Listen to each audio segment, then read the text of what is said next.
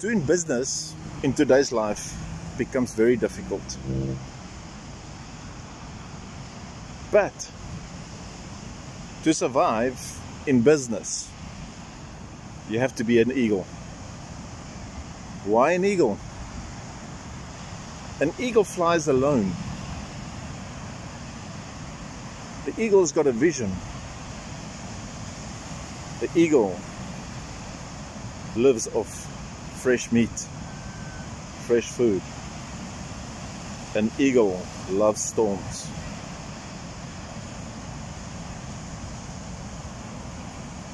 But it doesn't depend on anybody. An eagle does not depend on anybody. It only depends on itself because he knows how to move out of that comfort zone. He knows how to fly high. The higher they fly, the bigger the radius. More laser focused they are to see the prey. But when, it, when the storm brews, they fly into the storm. They don't wait for things to happen. They make things happen. When that eagle was a baby, he got kicked out of the nest to learn to fly. And some of us, we just want to hold on to something because maybe tomorrow will be better.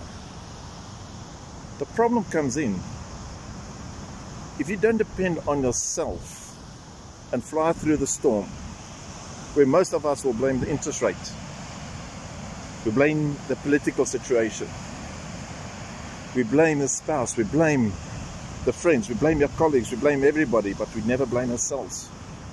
It's time for us to move out of our comfort zone, to fly high, focus in where we want to go, not look for shortcuts.